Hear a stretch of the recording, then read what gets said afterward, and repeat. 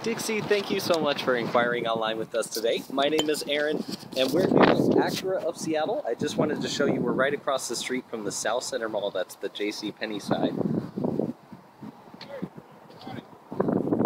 This is the RDX you inquired about. I'd love to hear back from you today. Give, give me a call at 206 433 1000, ask for Aaron, or just reply to this email. Thanks again.